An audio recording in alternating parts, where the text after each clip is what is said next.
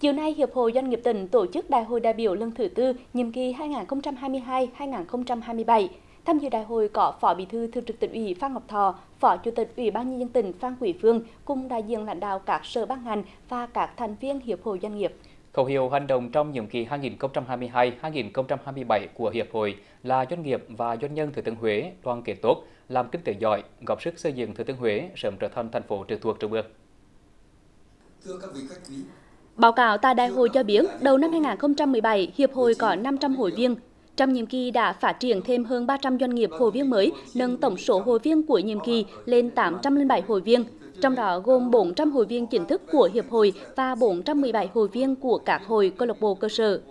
Cùng trong nhiệm kỳ qua, nhất là trong 3 năm gần đây, tình hình hoạt động sản xuất kinh doanh của các doanh nghiệp trên địa bàn tỉnh gặp vô vàn khó khăn do ảnh hưởng của thiên tai và đại dịch.